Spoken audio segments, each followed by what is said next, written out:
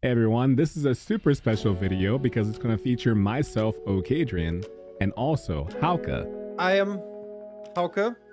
And how we're launching and starting an extra stream bi-weekly based on community ideas and feedback. But let's say you say, hey, I want mounts in the game. That's all you. And we're going to address and answer some things this week. This one was recent as of nine days ago from Brutal, who said, but more to come. We encourage you to watch the video. Please enjoy. Well, uh, I guess we'll do the introductions. This is going to be on VOD for all of you watching. Uh, I'll decide what point it cuts in. We'll see. Got some room for error here. But uh, for anybody that doesn't know, my name is Okaydrian. I'm the community and social media manager here at Blankhans. Hello, welcome. Nice to meet you. Then over there, we got a got you. I am Hauke. Uh, my I'm one of the founders of the company. I used to be officially creative director of Coreborn. I would dare to say that that is now more Rob's job, and I am now, I guess it is still okay to say, the lead of the Asia Pacific team required for narration, as I'm the only narrative designer now. And I also do a little bit of everything. I think that's what you said, literally everything. Like currently i work on external pitches which is something studios do. I work on the direction of the asia pacific team which we'll hear a lot about in today's stream and i think that's generally it.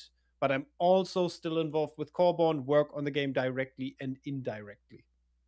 I'm really happy you mentioned that too just to clear up any confusion of people wondering you know is hauke still attached to the Coreborn project seen a lot of little side yes. projects going on here. Is he is he still involved? Yeah, yeah, yeah, no, no, no. I am still. Like I think um I talked about that a lot on other interviews on my own stream and everything, and I think it was mentioned on this stream sometimes. Mm-hmm.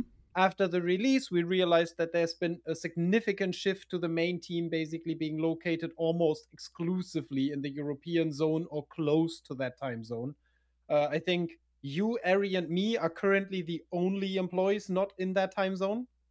I think so. Um, plus, of course, we have outsourcing studios, but even though I think, yeah, they are also in Ukraine, they do have some people outside of Ukraine, but also men, mainly European time zone, which led to us trying other things, not only with the people outside of the time zone, but also generally as a studio. We have to think ahead into the future and try other things.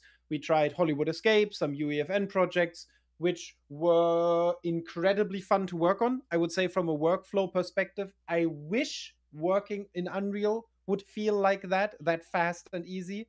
On the other hand, though, you release into an environment at UEFN where we were not super familiar with, which was a cool learning, but also showed us that, hey, maybe it makes more sense to develop a new strategy for what the Asia Pacific team does, because that is what their team did for a while basically Ari and me plus a third person that we're also going to go into more detail about in a moment. Um, has been we have been working on other things and are now working on Coreborn again. Perfect. And with that in, in mind, since we cleared all that up, we have a document board we're going to showcase to all of you. So when you're watching at home, you can follow along, and it's it's like being back in school. It's your PowerPoint presentation. It's your first day of class. We're going to walk you through everything take the next five seconds to wait for this scene to finish transferring over. So here we go. oh, so long. I told you. Oh, oh, finally. Oh, all that for this. We made it. So good news. We did this first part already. The stream start and welcome. So congrats to us. Big ups. Mm-hmm. And mm-hmm. uh, this is our visual board we'll be using probably for the rest of the streams too. So all of you watching can follow along on what it is we're looking to discuss this week is a bit more lengthy than usual because we're setting the groundwork for what's going to be covered in the future. So this will be a bit easier to follow in the future because you won't have this many threads to worry about.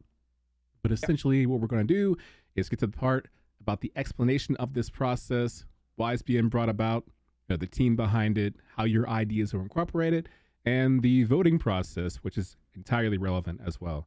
So, Hauke, if you wouldn't mind starting us off, what is it we're looking to accomplish and why? So, what we are trying to accomplish is a more direct influence of community ideas on things that are actually in the short term visible in the game.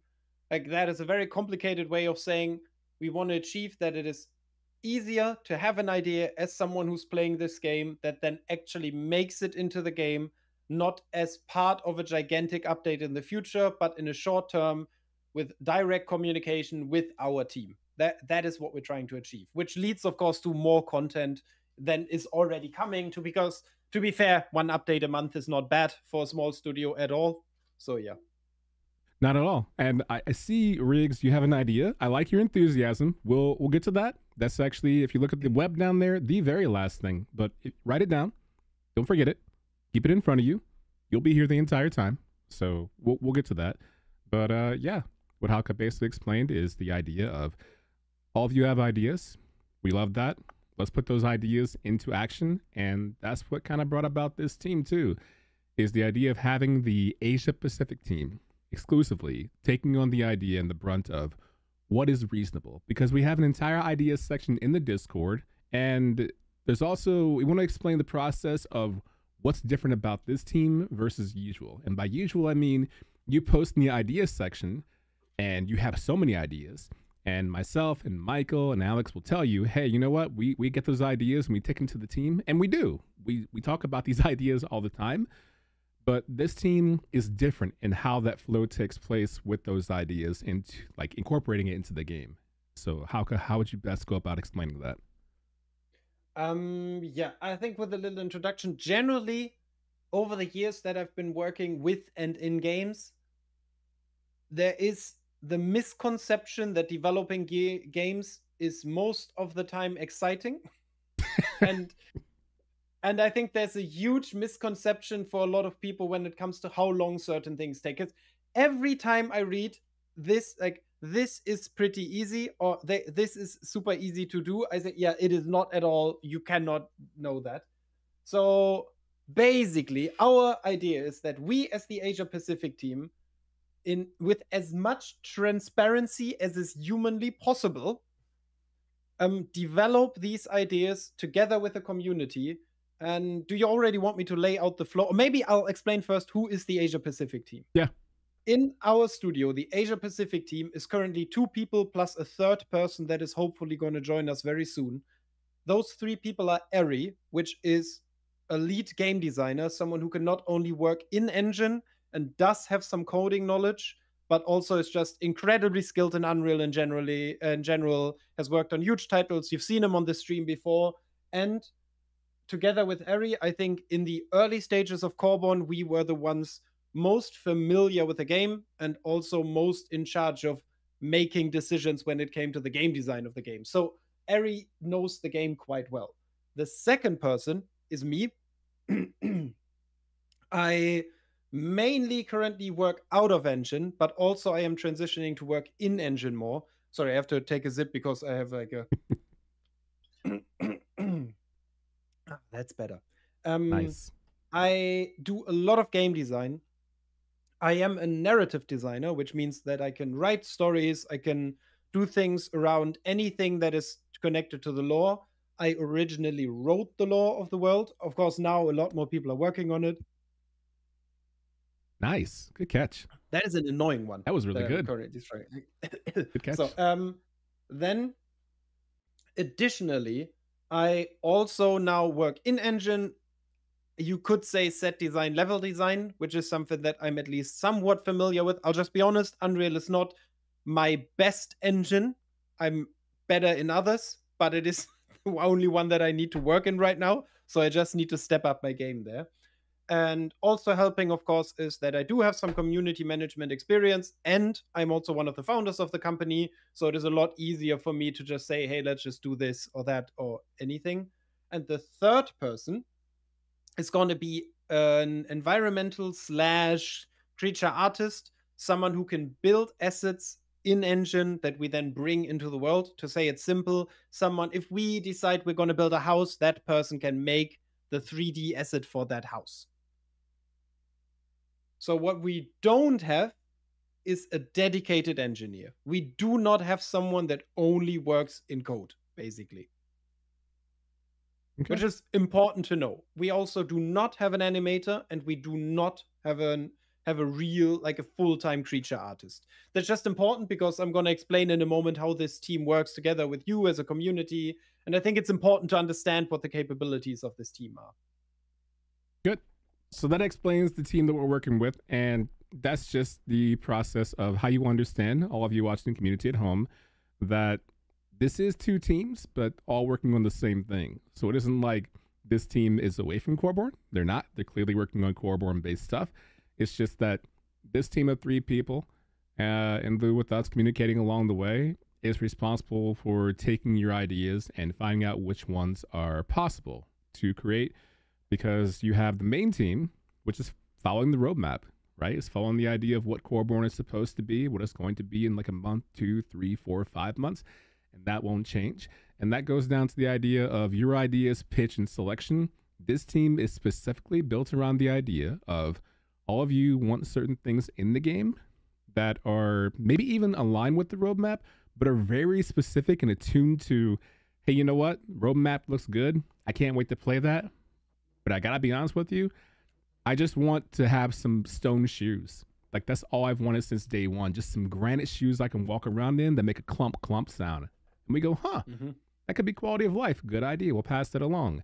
And that's the idea of your ideas, pitch, and selection is taking all of your ideas, which by the way, are not different than the ones in the Discord. So there's not an ideas section and yep, then a yeah, sub ideas section. There's the ideas section. But the importance of this stream, which will be reoccurring, and we'll get to that later on too, is bringing you all in here, if whether you're watching live or later on in VOD and having comments, and finding out what ideas make the most sense, and then putting it to the team. And Hauke, if you want to explain that process and how it's going to go. Mm-hmm. So basically, anyone that is on our Discord, part of the community, you can even use social media, just ping us in a tweet or whatever if you don't use anything else, can have a high level idea. Like the more high level, the better. High level meaning if you say, I would love to see mounts in the game, I can and go back to that example in a moment. That is better to me than you designing an excess or like an extensive document around the idea how that mounts work and everything. Because there's things we can and can't do. But let's say you say, hey, I want mounts in the game. We take that idea and then as the Asia Pacific team look at it from an angle, what is for us actually achievable? And we'll explain that process to you. Like, for example, at the example of mounts, I would say, hmm, not only are we already working on something that is similar to mounts, but also that is too big to work on us, like for us, uh, to work on for us as the Asia Pacific team. Basically, too much animation, too much this, too much that, too much coding work. What we could do, for example, is a companion. He follows you around. He is like a chest. You can give him stuff and take it back from him. And potentially, once you walk next to him, you both walk faster. Quite similar to a mount, not exactly a mount. But that idea we would then develop together with all the others. Basically, if you give us 20 ideas, I look at these 20. For all of these, I make a minimum viable option that we as the Asia Pacific team could do and pitch them internally to our team because we do still work on Coreborn. Coreborn is a big game. There's almost 30 people working on it.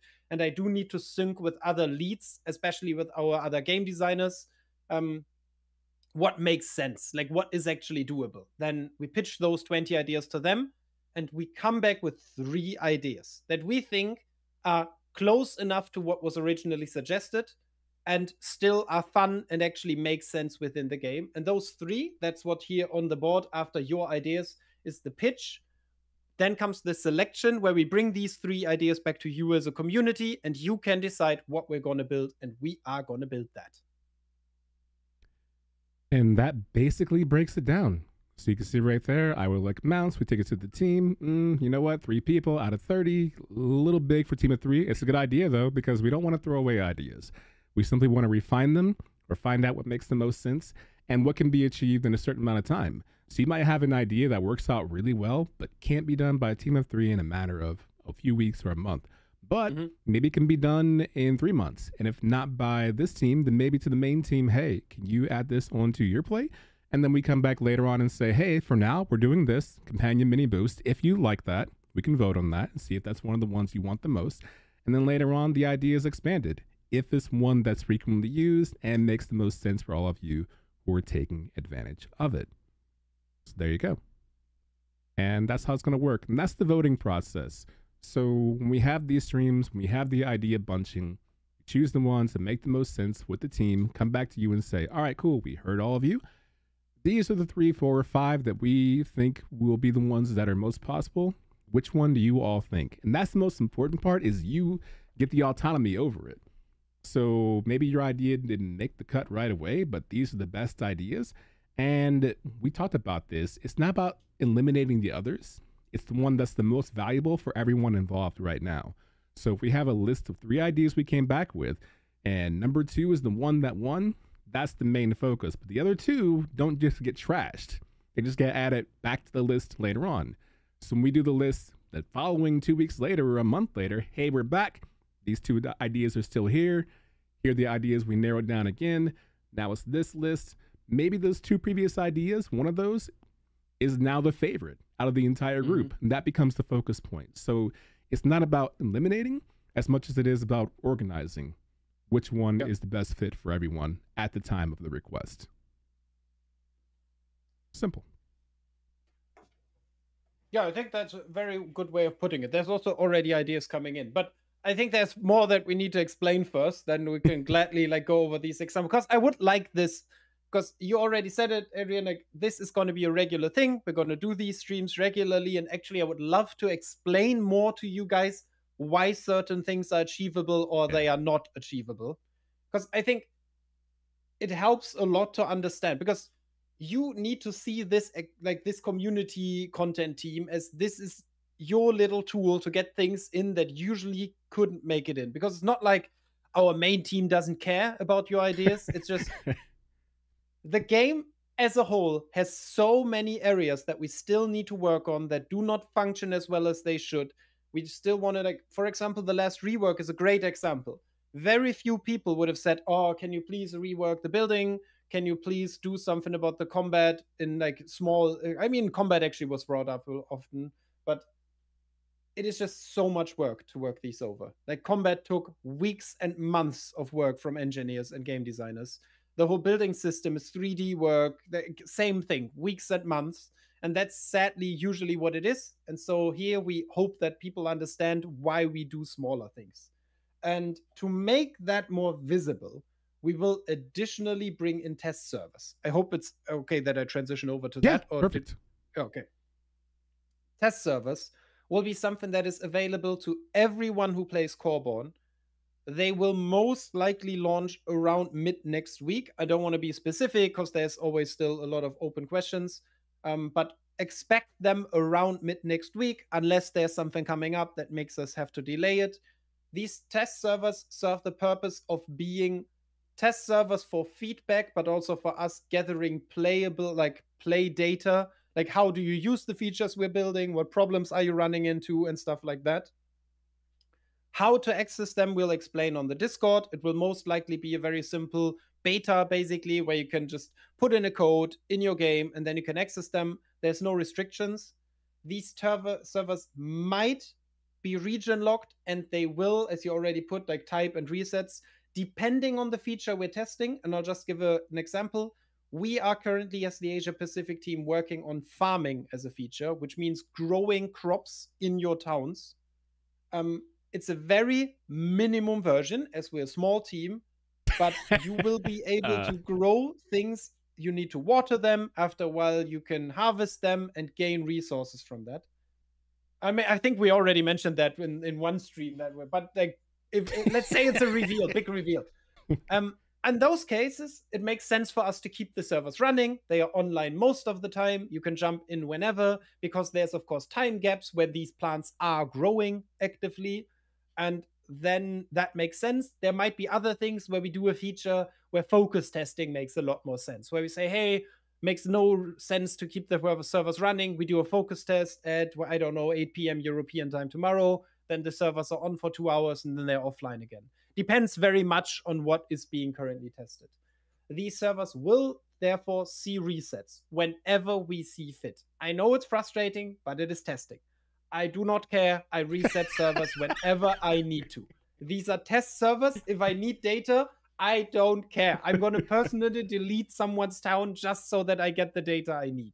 We will, of course, set warnings if possible. If not, it is a test server. As I said, they are not meant for the full game experience and progress. They might even, in some cases, not have certain features, or you might see features that you're not able to properly play yet. Like there might be animations missing, gray boxes in it. It is testing. I'm so happy you brought that up too. There have been so many times in the back end where I've had like little miniature towns I'm so proud of, like, oh man, this is actually pretty good. I'm gonna work on this. Yeah. And then it resets and I'm like, oh, you gotta be kidding me. I was I was hoping to at least copy that down. I guess not. Yeah, yeah. So y'all can get used to that too. Don't fall in love with it basically. If it's testing, don't fall in love with it. It is, it is. Like also it might be that in some cases we will do our best to regularly update. I think for people who've been part of the Hollywood escape process, um, there's sometimes been updates three times, four times a day. And then we generally send a short log, say, hey, this is what's going to happen. This is what changed. This is the goal of the current testing. Hey, please focus your testing on this feature. Try to do this. Like with farming, for example, it could be that we say, hey, try to grow your crops as fast as possible. We might ask specifically for feedback on certain features. There might be, like, as we already did, surveys in there where we then point out, please answer the sur- survey after every session and be honest about it because it just helps us. Yeah. And, uh, you know, if you can ahead of time, just try to be as succinct as possible. Keep it within uniform of what makes the most sense to communicate. Uh, a couple of times you test things. I've tested things and your world in your head starts expanding like ooh that was fun. I wish i had this mm-hmm. and this and this and this. And i get it. It's an explosion of ideas and it feels good but compartmentalize that and you have to say to yourself what what makes the most sense out of what i've seen and what i've tested? Yeah yeah. Dr like Sharky, it's a great learning question. from hollywood escape. The simpler and more straightforward te- like feedback is the more it usually helps us. Telling me I did not like this level, it wasn't fun, is sometimes more valuable to me than you trying to analyze why you didn't have fun. I like it. Dr. Sharkey asks, so we'll get a code like alpha and beta download, basically a new game, and test the bejesus out of it? Yes, you will basically have to jump between these two. The main reason for that, I know that it would be more convenient if you could uh, download like a second version and you have like Coreborn and Coreborn test that is potentially viable for the future. It does cost us more resources, and we would like to see first if people actually make use of the test feature. So you need to imagine it. You do need to, every time you want to jump between the live environment and the test environment, you will have to download the game again. Yes, that is the case. I know, especially for people in Germany with absolute garbage internet, that sadly sucks. For everyone else, it's a 15 minute inconvenience. But yeah, Great question, by the way. Yeah, it's a very good question. Yeah. So that explains the test servers, when it's happening, the type, the resets, the region. Like you mentioned, it could be uniform, it could be one H, could be generally two. We'll figure it out, let you know when. We'll have it shared everywhere. You won't be left in the dark about that. Uh, the closing is probably going to be the longest part of this, maybe about half the time, really, which is the frequency and future expectations. And what that basically means is, as this first starts out, we're looking at about bi weekly. And as I pointed out in the news posting on the Discord, this is not meant to replace the weekly Blankhans stream. That will still be going, going, going on Thursdays, 1.30 p.m. Eastern at 7.30 p.m. CET. That's still going to happen. This is just going to be an accompaniment that takes place on Mondays every other week, an hour earlier today. This was just a little test run, a little briefer, but time that you showed up today, whatever time zone you were in, imagine this one hour earlier, and that'll be our grouping time. Now, I mentioned that for future expectations because the idea is to do this bi weekly for the idea gathering.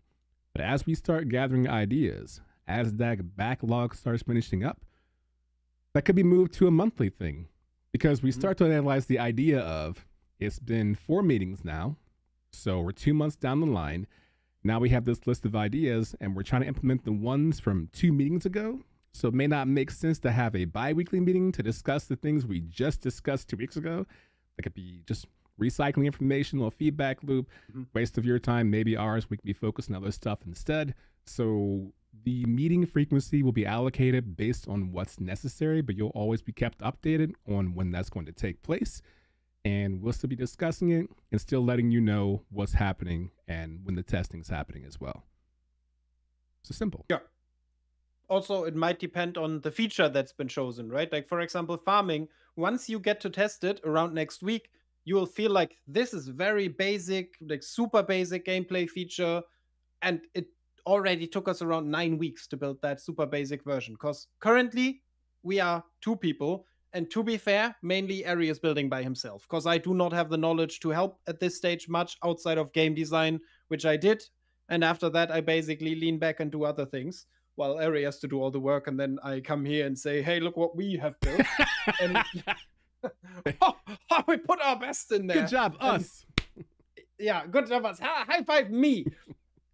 and yeah, that is like in some cases it might be that hey, community, you guys chose a feature that just took us four weeks. Cool. We actually might do more updates, or you chose something that takes us four or five months to build, which I would highly advise against. And also, maybe to be transparent, we will always try to come up with a feature that has an estimate around maybe eight to 12 weeks just to be able to kind of build something again in the near future and not end up and being stuck at gigantic things that then never really satisfy because yeah we just don't have the resources Cool. Uh, and if any of you have any questions, you can ask them now. Uh, and in time with that, we'll also go into the idea portion. This could be your Mhm. idea right here. It's true. Riggs, that idea I told you to hold on to, you can bring it out now. Hopefully, you wrote it down or didn't forget it.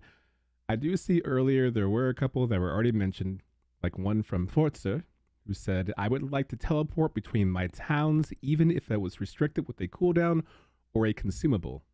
Thoughts?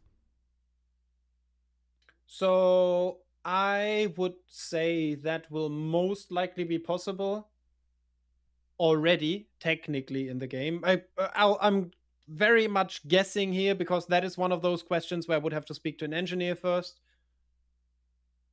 I will definitely would personally link it to something that is game related because currently and i'll just be transparent again i think our game lacks burns for materials I think most people who play the game regularly will realize like a lot of your chests are full of stuff that you never need to put anywhere. And as frustrating as it might feel to have to pay for something, it just brings more fun into a survival game if you actually spend resources on stuff. So that is potentially possible. I think my first question in that case, now that you're here live too, is is teleporting what you're looking for? You just want to personally be somewhere else? Or is it about being able to bring resources somewhere else? Just so I understand better. Like, would you put all your gear, like your inventory full, and you want to teleport there? Or do you just want to physically be somewhere else on the map?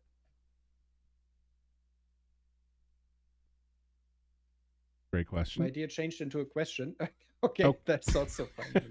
Okay, you can you can go ahead and ask your question if you like. By the way, Doctor sharkey you had a idea pitch, which is a frequent one. You want daggers. that is so i'll just give you a vague estimate how long it would take the asia pacific team to build playable daggers in this game and i'm not trying to be crass i would say that is roughly 14 months of work minimum like we would build more than a year with three people to bring playable daggers into this game most likely if we're super fast things are going great outsourcing is super maybe nine months to have even a minimum viable version of this weapon. Like that is so that's something where I could now say, oh, that's the main team. The main team has to build weapons. Mm, I don't want to give away too much, but there is currently an internal idea that would allow this to be faster. So my most likely reply pitch to this would be how about you don't use weapons but someone else does? Like you play something that uses daggers for a while instead of your main character because that immediately makes it easier for me. I do not need to do all the animation work. I could make it a lot easier. I could only have one character that like a let's say a rook, he has daggers, he only can do 3 attacks. Still a shitload of work, most likely way too much for the AP team, but already more in scope. We brought it down to 3 to 4 months already. and if I simplify it further, that could be a way to bring bring daggers, but your main character using daggers as a different weapon, that's too big for the AP team. I'll just be completely honest because we do not have an animator on our team, and that is mainly animation work. Very thorough answer. Thank you. Riggs, uh, I'll sub answer your question as we get to it. Is there a feature from a past MMO that you love that isn't currently being utilized in MMOs today, and would you ever consider implementing it? I'll step in really quickly to remind everyone, because not everyone knows this too. And I think part of that too is because we started off earlier, I think it's Steam using the tag for it. But Coreborn is not an MMO. It's not set up in a mm-hmm. system where you have different classes that are doing quests, that are doing dungeons, that are going from area to area in quest progression along the way, with gear progression along the way.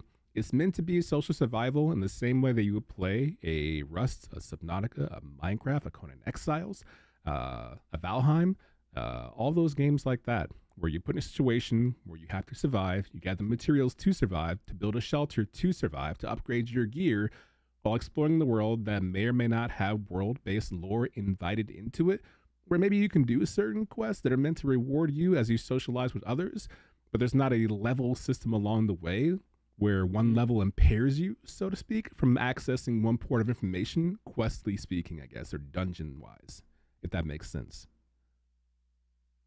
But I don't yeah, think it also. Think... Oh, so go ahead. Yeah, sorry. No, no, I was about to go back to the whole outpost teleporting thing because we just got an ah, answer yeah. from Forest for for Forest TR. For, nice. Forester. Um, I want to be able to have outposts to get around the map, a hut near the mountains, one near bandits, one near good resource farming spot. So I think the first thing that I generally do not disagree with is it's good that it's from town to town.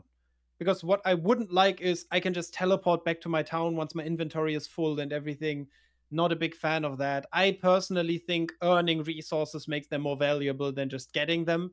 And so it's just more fun to walk into the mountains and have to bring resources back. So I already like the general idea of, ah, I can only teleport between towns. So I at least have to set up a town in the mountains to be able to go easily between mountains and back and forth.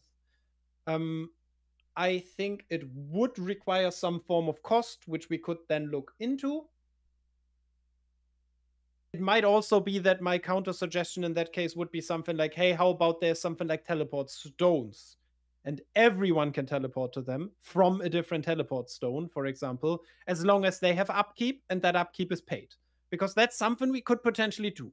Like it's kind of like a town, there's a little settlement somewhere, it's NPC controlled. You go up there, all the whole server puts stuff in it. Once it's active, everyone can teleport to it once you have a structure that allows you to teleport to it, but you cannot tele- teleport from that back to something else.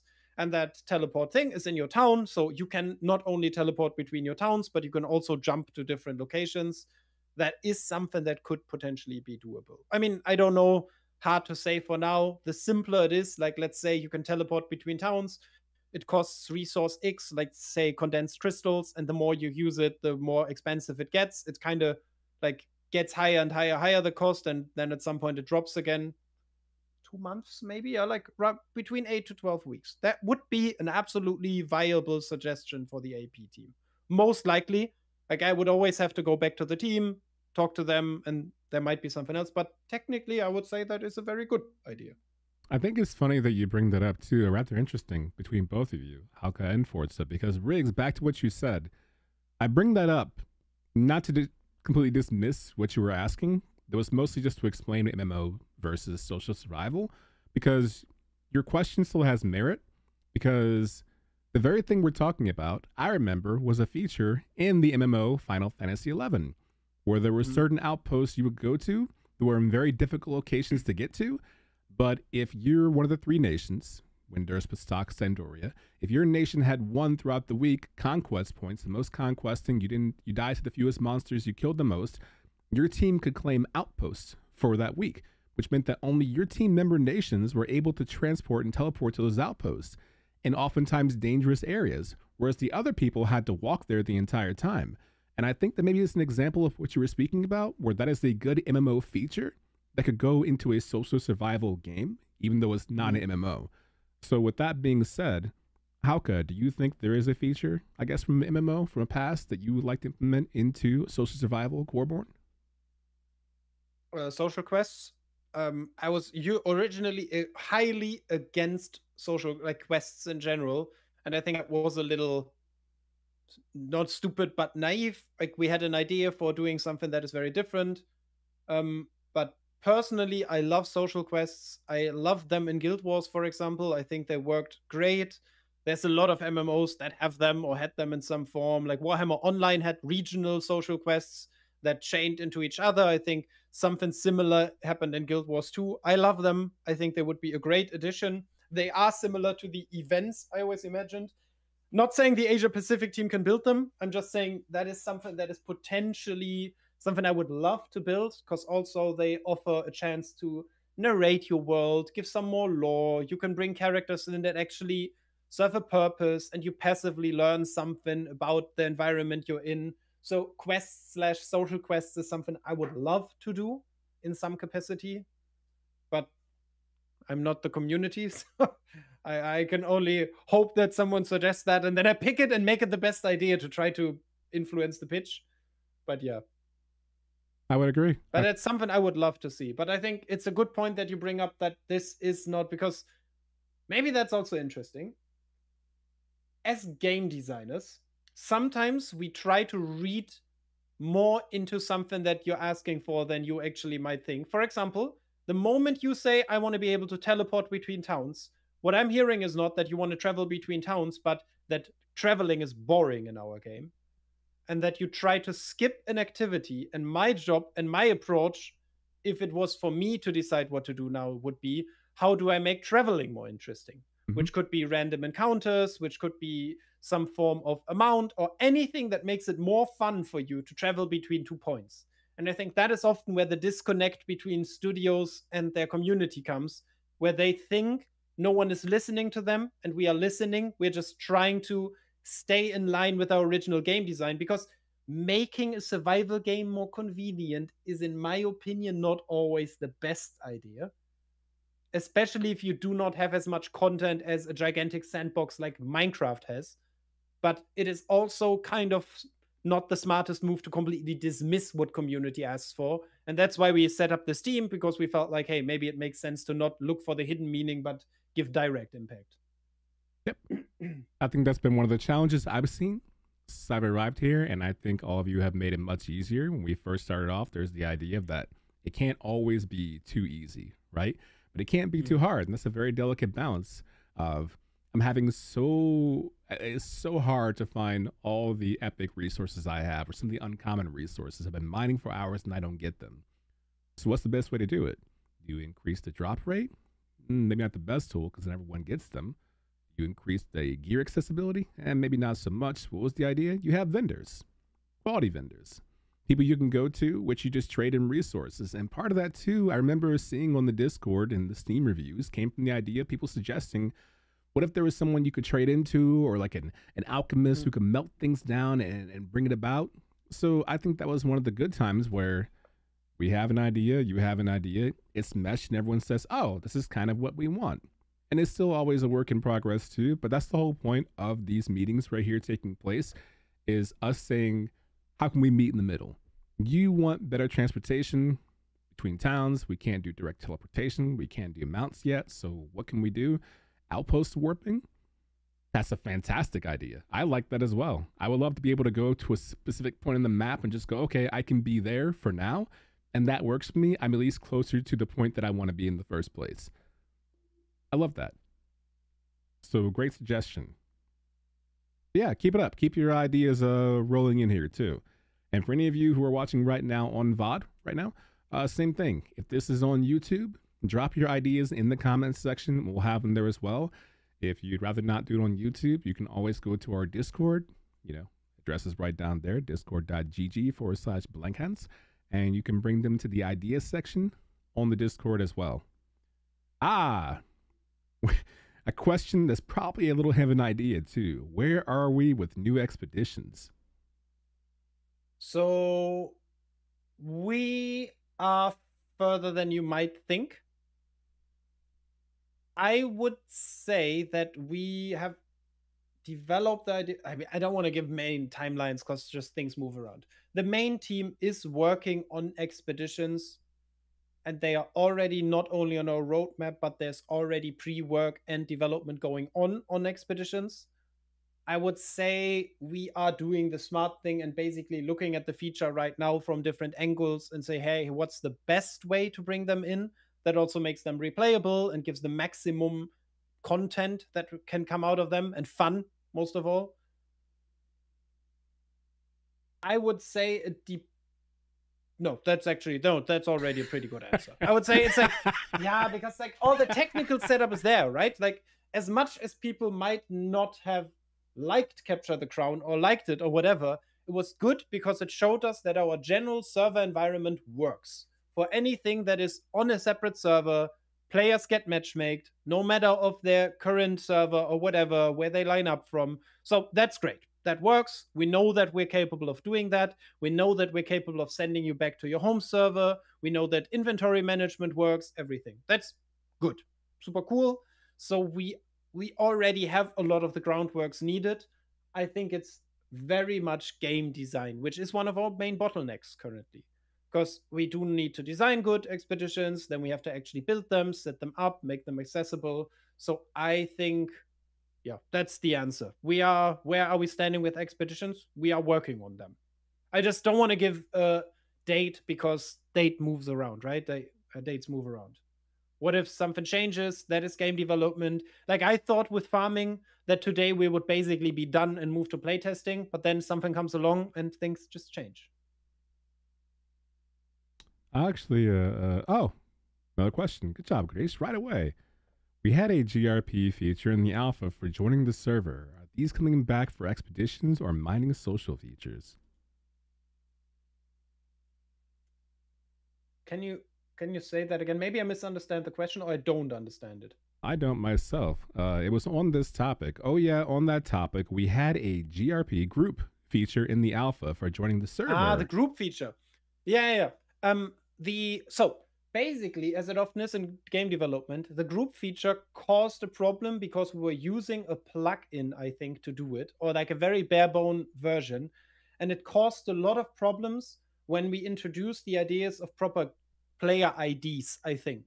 And that is why we took it out because there was so much that didn't work in it that we decided it's better to not have it than to have whatever this is because you could not click on someone and chat with them. You could not teleport to their server. Like so many things did not work around grouping as we had built it that we had to push it out. And then so far, it just didn't make it back in because the advantages grouping give you from a gameplay perspective in the current game are incredibly small compared to the effort we need to put in to make grouping a thing. So basically, what happens is in those cases that a game design is being made that actually gives them a purpose in the game, then we get an estimate, and that estimate is usually a few weeks in those cases because a bigger feature that has more impact actually requires more work. And that's why it's been pushed out because we just said if we want grouping to be in some way meaningful, that's when that happens. If you want grouping, you can suggest grouping. I'll look at it with the community team, like the Asia Pacific team looks at it. We see what's doable or what isn't. We might have to dismiss it or change the idea or whatever. I just don't know by the top of my head, to be honest. I think it will require too much networking for us. I might completely be wrong about that. And it's actually something that would be achievable for us. Cool. While we wait for more questions from people in the chat, as we wind down to the time, because this is the introduction to the idea of what we're looking to do. I will take maybe one or two from the communications channel we've been keeping open, keeping track of all the ones you've suggested over time. This one was recent as of nine days ago from Brutal, who said, I think it would be cool if you could change the image on the wooden chest afterwards. For example, you could add a tab for symbols next to the storage. Because that makes sense. Because as of right now, when you look to select your wooden chest, you have to select it ahead of time. Is this going to be one we store for plant, for foraging, for it's like geocasting or everything else. But that crate may change its identity later on, and we need it for something else. And now it can no longer be the crate is set up to. And a subtopic of that, that's 1A, 1B. If you expand the idea of the wooden chest, you could think about different wooden chests depending on the type of wood or option, which also makes sense because as you build a town and as you use planks, we offer different types of wood there, so why not on the chest as well? Both are absolutely viable. Both would be doable by the Asia Pacific team. I personally would more argue build a second chest. Whoever has enough chests, huh? but like, absolutely viable ideas. I think in the second case, especially, we will have a 3D artist in the very near future, hopefully. So most likely not going to be that hard to achieve for us. I would almost dare to say it is almost too bare bone, but nothing is too minimalistic. That just means faster iteration. So yeah, absolutely viable. That is done. Like that is doable. Sorry, that's what I meant. I like that. It Makes sense.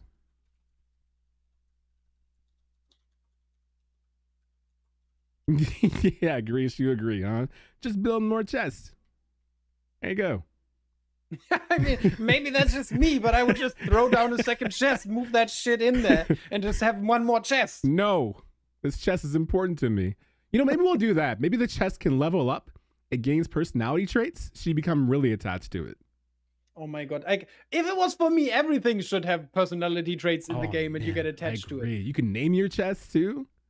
That was so good. Oh. And then you ah. grow with them, and you have a personal story. And like they once you take something from them, like no, no, that's my favorite present. it snitches on people like apes. Yesterday, yeah. someone took your outfit, bro. Yesterday, like Exilius came and like took all the food out of me. Like, I remember that one time that Hauke did that to me during a holiday stream. But hey, bygones. Never happened. It's okay. and I took all the all the skins. Yeah. Yeah. Didn't forget. and the chest can walk behind you while you farm. It's funny you mentioned that. We did mention that earlier. Yep. As a solution to mounting. And honestly, there are games that offer different minion types. Maybe we can do that too. Maybe you can have as one of your storage companions. It could be a, a, a chest. Why not? It would technically be possible. Like in those cases, let's say, let's try to make this into how would that actually work. In those cases, I would most likely say we do have a Gearistograph. The Gearistograph already has an idle animation. So at least there's something there. Or I look at the Gibling because Giblings can already walk and everything because animation is costly. It takes a lot of time. It is one of the most expensive things in game making.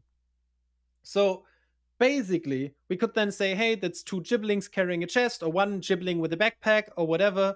He follows you around. You can put stuff in him like in any other container. Of course, there's a shitload of failure potential where like what happens if you travel the map or uh, like if you server travel if you go to Korheim what if you have a disconnect what if this what if that what if you die million like a million things that can go wrong.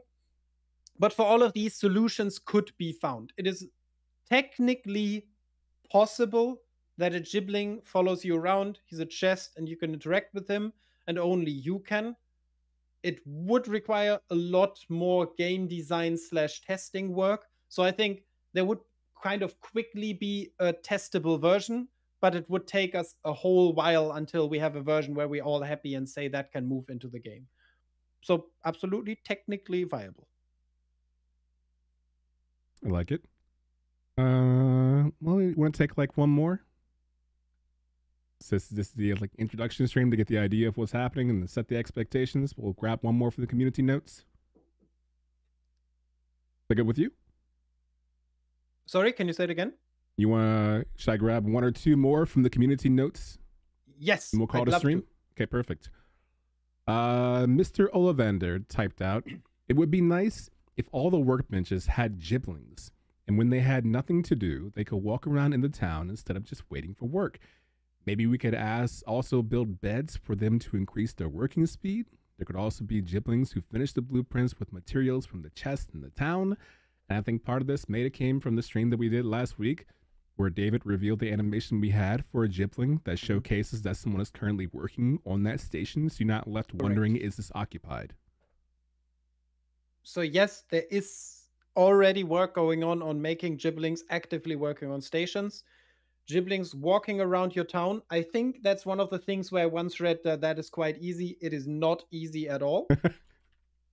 but if the more willing you are uh, to accept flaws, the easier something gets, right? If it's like they clip through everything, nothing looks good, and like, well, yeah, that's very easy. Like a clipping, buggy, Gibling, walking around your, absolutely. if it needs to be the exact same Gibling and it has individual features, already like 20 times more complex. I'm not saying it's impossible. I would in the, it's another case of where I would in one of these streams explain what makes such an idea complex. Giblings, just so the gibling just walking around your town, easy. The gibling from your station, disappearing at your station and walking around your town, already a million times more complex. Because currently, our stations do have states like working, non working, which is cool. We already know that exists. We would have to build a third state, which is idle, basically. The gibling is there but not doing anything. We would then have to make a chain of like, hey, this is random. At some points, that chain does all doable. I'm not saying impossible, I'm just saying more complex. The gibling needs pathfinding now. It needs to know where stuff is. We do have pathfinding theoretically. It is kind of meh, though. That's one reason why town attacks do not feel as rewarding as they should currently, because they sometimes see structures, sometimes they don't. Let's say we are willing to accept that that doesn't work perfectly. Like they sometimes clip through things or whatever if this would be given to the Asia Pacific team, I would say, please let us not make it the crafting station giblings. Let's say it is different giblings or different creatures. There's a specific spot you give them. Let's say they have a little hut. You build a gibling hut. Mm. They come out of that hut and walk around your tone. Immediately, I would say that is a million times easier and more doable for us as an Asia Pacific team. Just to uh, the more things are linked with other features, the better they get, but the harder they get to execute. But again, I might completely be wrong. I speak to an engineer or another game designer, and they say, "Hauke, bullshit, super easy, no problem at all." Dude has no idea what he's talking about. He's just talking out loud. We can do that, easy. Consider it done. Yeah, yeah. Like I said, whenever I read someone saying this is so easy, another game does it, I'm like, yeah, of course, because yeah, you you've eaten our code and know it by hand. That's one of the things I've learned in this position is I mean I've always watched documentaries on devs and the process of what it takes to just do the smallest incremental thing. But now actually being part of a game and me thinking like, man, it'd be so much easier if we just did this one thing. And then I watched the conceptualization. I watched the concept art. I watched the 3D mold. I watched the animation. I watched the testing. I watched the uh oh of something clipping down somewhere else. And that can't happen not only there, but not everywhere and how much all that time takes with 30 people. And I'm like, boy, oh boy, this is a lot for what seemed like a very small yeah. thing. That's also why I often try to explain to people like a five person indie studio works, let's say, at speed one. That does not mean that 10 people work at speed two, because the more people you are, the more you need to align ideas and visions. You need to make clear what you're working on. More and more gears start like going into each other and it just like gets harder and harder. Because let's say we do have this little hut we need a concept for it. The asia pacific team does not have a concept artist. No problem. We can absolutely either outsource the concept or we gather some external art but then we need to tell that to our 3d artist explain the idea or just follow their vision. They have to tell someone in animation about their vision so they know where the door is and where the gibling comes out. We need to tell that to Ari so that he can set up the perfect spot need the perfect timing and so on and so forth.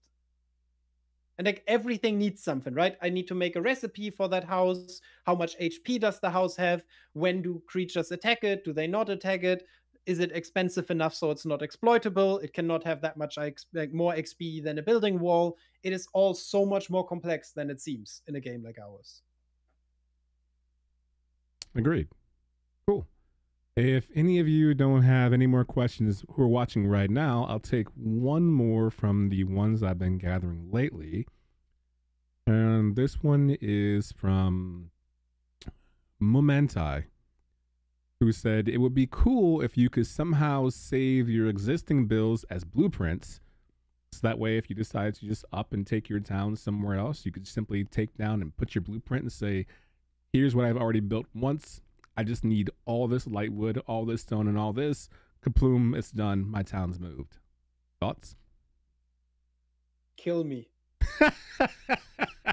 ah, the worst one, huh? So it is like that's a super good idea. I love it. I think it should absolutely be there. I would have to deep dive with our engineers to understand best.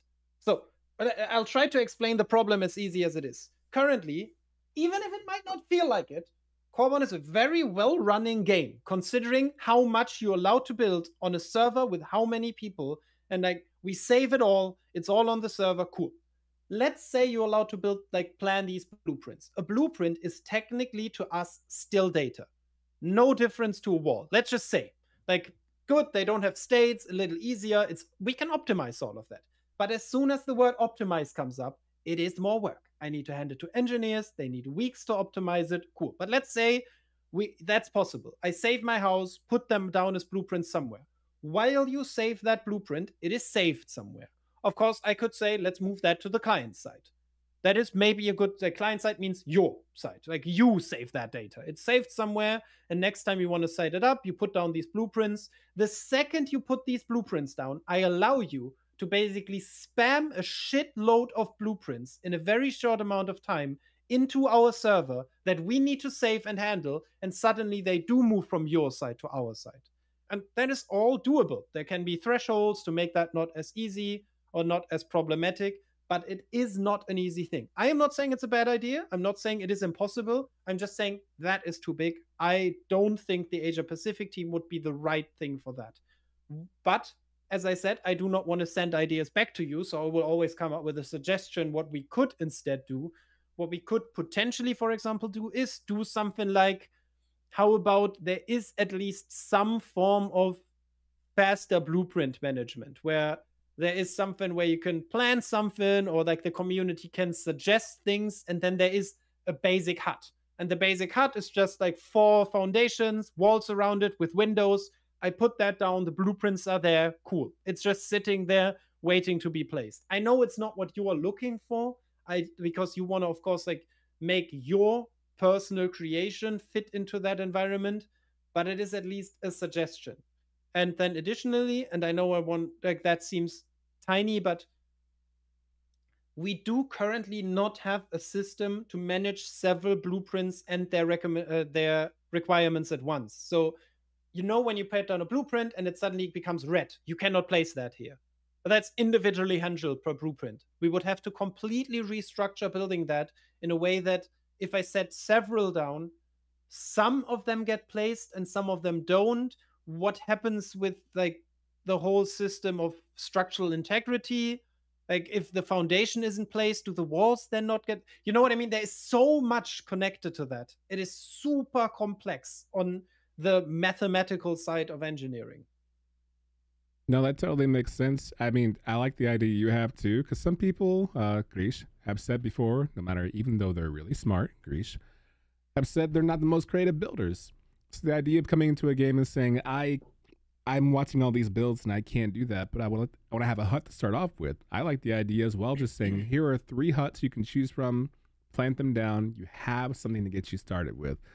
But yeah, there's always that fear if I want to build next to this small body of water, it says it's green, cool, I build it, it's built, the roof is gone, the, the floorboard collapsed, I have two walls left. What just happened?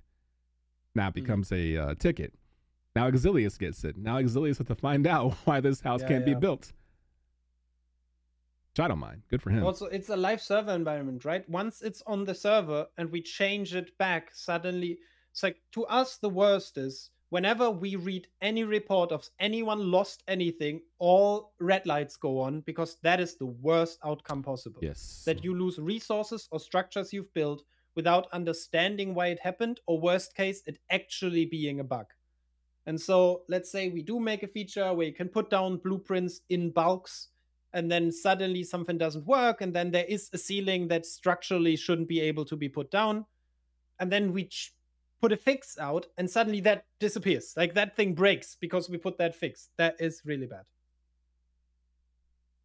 And I think we'll do our last one actually directly from the chat. Grish actually has an idea, not a question, which is the idea of, I guess, a trader of recipes. I think it was an idea a long time ago. Mm-hmm. I guess he's Absolutely asking doable, for, quite easy. I would say that that is more of a design question. I would then sit down with Ari and come up with a thing to make that a little more interesting basically where we say hey maybe they give you some like what do they give you back what makes sense in our game design currently maybe recipes that you've already learned become kind of almost like a currency. You can trade them for a currency, and that currency can then be traded into other recipes, something like that, so that it still makes sense to find these. I think that also ties into what you said earlier the idea of being able to spend the things you have. Like, I I'm a hoarder. I collect things even though I know they don't have per- like I have so many twigs. I don't even I don't need twigs, but you never know. Mm-hmm. And they're the easiest thing to get. Like you can fall on the ground and you get twigs, a hundred that you didn't want. But I keep them just in case because I think, what if one day I need these twigs for something? And if you're the starting player in the world, one of the first things that fills your inventory is twigs. And one of the biggest yeah, pieces yeah. of feedbacks that I have with streamers from Lurkit or my personal friends who have streamed is when you're first playing a game, this is not a Coreborn problem really. I think it's a social survival problem. Problem is when you first play a game, depending on how many things you have access to right away to gather, maybe if you have a list of 10 things, now it's a list of 50 things you have a chance of getting in yeah, one yeah. small area, you don't know what's important. So your first fear is what do I toss and what do I not toss? This... I mean, also, I don't want to toss anything away. Like, uh, you give me something I wanted. It's yeah. a survival game. Yeah. Because then you're the asshole who's like, you know what? This doesn't look important. I tossed that. Why'd you toss that, bro? That's like one of the most important resources. You won't get that again for yeah, three yeah. days. So, yeah.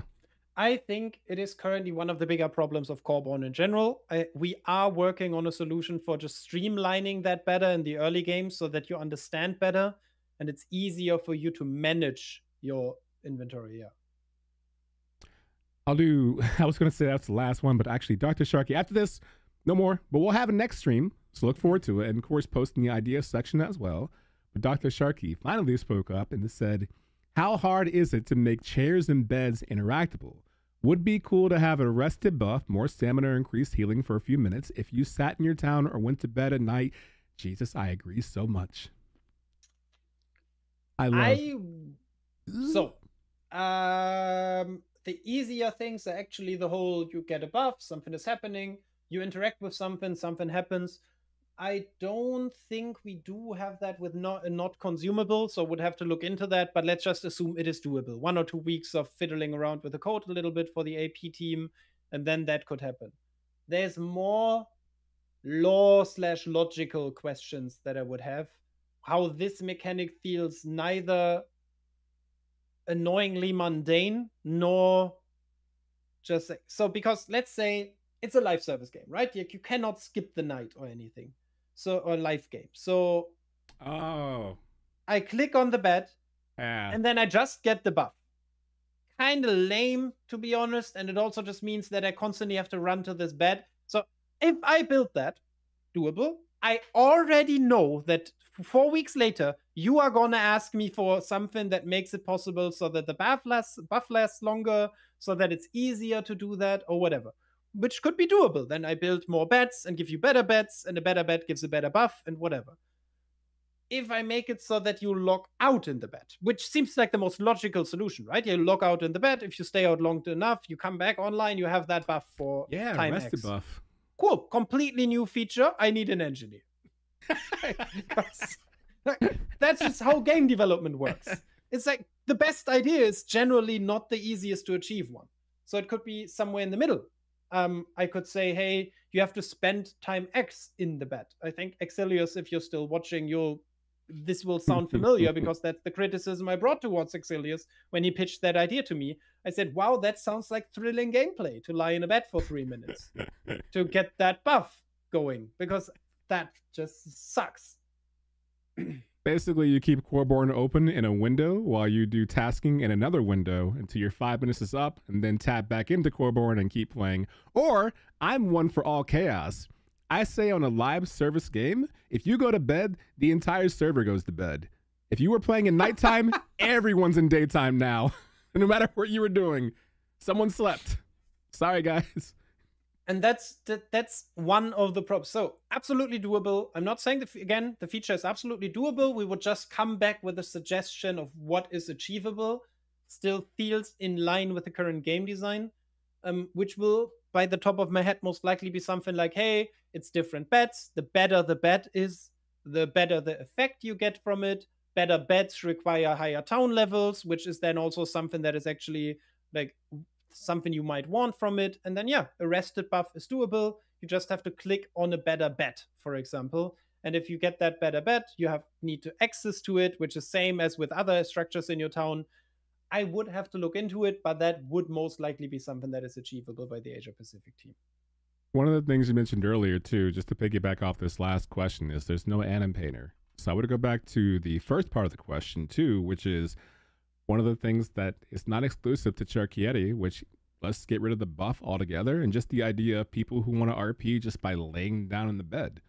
Uh, mm-hmm. Animation thing. So I guess on a macro level, not for the Asia Pacific team, on a macro level, how doable is that?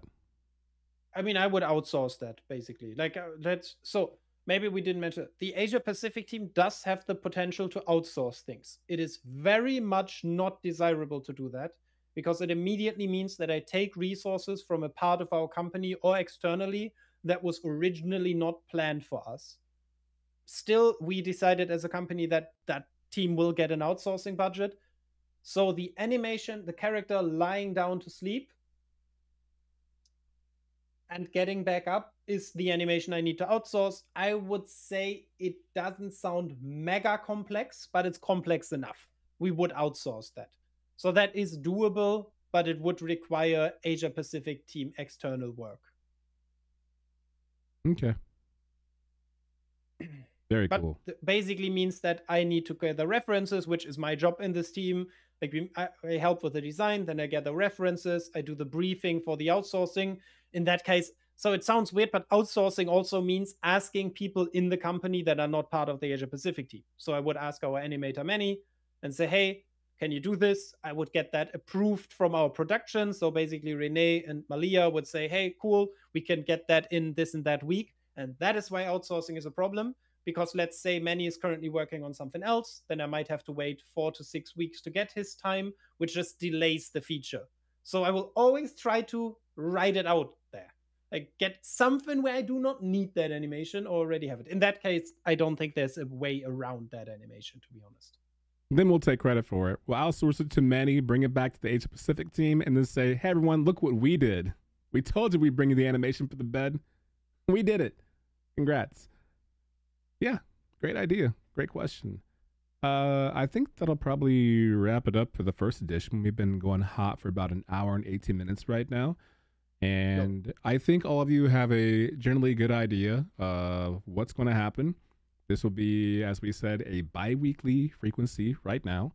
So expect this stream back in two weeks at a one hour earlier start time, which would mm-hmm. be 6:45 p.m. Pacific, 9:45 p.m. Eastern Time, and uh, 4 a.m.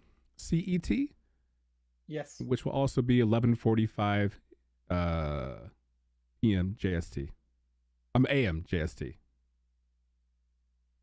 There you go. Time zones. Hell yeah, good times. But that's a breakdown of it. And of course, next time, less time is spent on these first parts. Next time is all ideas. So if you're watching the VOD, if you're in the stream later on, if you're in the Discord, show up and get all your ideas there right to us. And of course, if not, I'll be gathering the ideas in Discord and presenting them. And if you can't make it and no one has any ideas at the present, we'll just talk about them publicly. Here's some ideas I've gathered coming from someone like we just did today. And then yeah, bring about. I'll also throw my ideas in there. If, if no one gives me ideas, I'll just do my own. 4 a.m. CET is a great time. Dr. Sharky's up. I mean, get some coffee in you. You'll be fine. Also, it is asynchronous, right? Like if you just don't happen to be online, watch the video on YouTube, throw your ideas in the comments, throw them in the Discord.